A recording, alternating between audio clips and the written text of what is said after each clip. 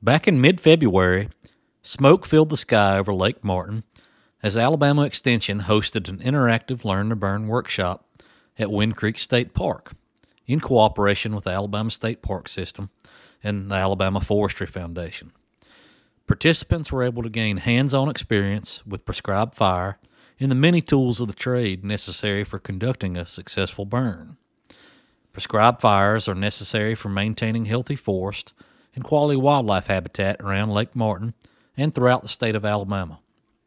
Wind Creek contains a diverse array of forested stands surrounding Lake Martin, such as mature open longleaf stands to upland mixed pine hardwoods and down to creek drains dominated by poplar and beech.